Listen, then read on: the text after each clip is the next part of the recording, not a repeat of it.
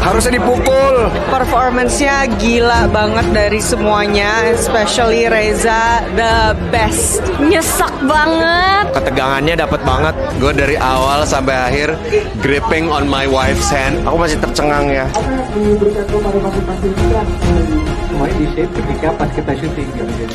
Ini arti keluarga sebenarnya ya. Aduh. Ini aku sampai sempat bilang sama Kak Reza gila itu siapa ya di layar aku nggak kenal. Sutradara penulis kemudian para pemain dan juga produser Udah nih. Oh kok jadi galak? Iya emang gini. ODGJ takut.